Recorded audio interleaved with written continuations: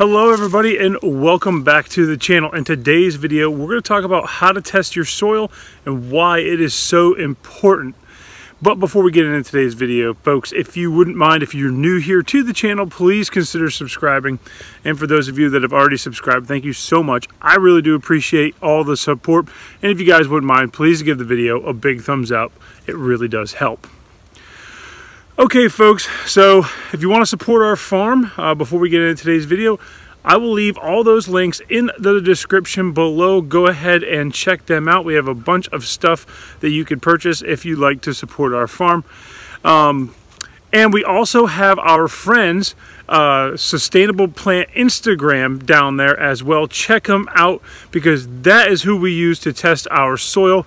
And we love those guys. And we're going to really deep dive into it today um, of the steps of how to test your soil and why it's so important. And our friends at Sustainable Plant really do a awesome job of testing our soil and really giving us a leg up, so to speak, when it comes to growing our plants.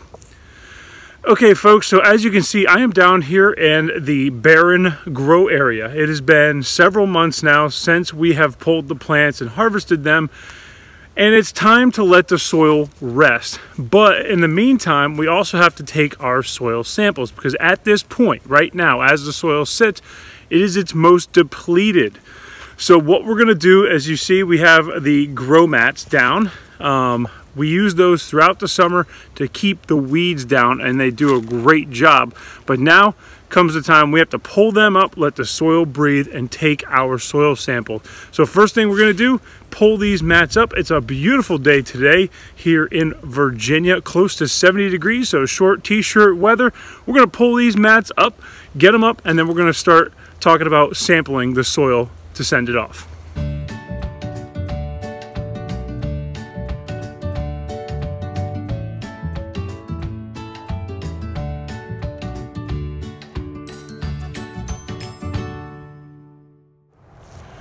Okay folks, so now that we've uh, taken up the mats, what we're going to be doing is taking six soil plugs. What we like to do is probably one from each corner-ish, and then we take two from the center randomly. These are all random samples, and that's key to getting a good soil reading uh, when we send it out to get tested.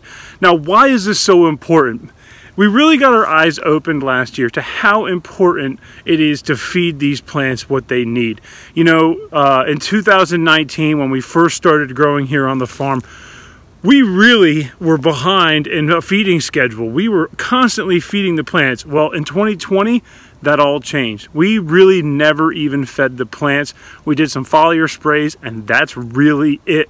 Um, so that made a huge difference in the amount of time and energy spent in these plants. So now what we're going to do is take these soil plugs and uh, prepare them to send to sustainable plant. And once we do that, we're going to talk about uh, the next steps after you take your soil samples.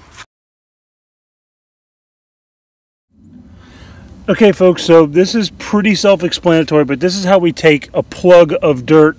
We want to scratch away all the organic material if there's any weeds or anything like that. And then you just take a little spoonful here with the spade. About that. Put it in the bag. And that's it. We do six plugs here. We've already done five. But I wanted to demonstrate how we take a plug of soil and this is uh, what will be going to uh, sustainable plant. You get these plants out of here. Um, and they will test it for us and they'll give us a result. And we'll talk about that result once they give it to us and uh, we'll explain what we're going to be adding for next year. Okay, so we've taken all the samples, folks, uh, six to be exact, and pretty much how I showed you is how we do it. I mean, it's a Ziploc bag, six soil samples from random selections inside the grow area, package them up, and we send them to our friends at Sustainable Plant. And again, guys, if you are interested in doing a soil test with Sustainable Plant, I will leave their Instagram down in the description below along with their website.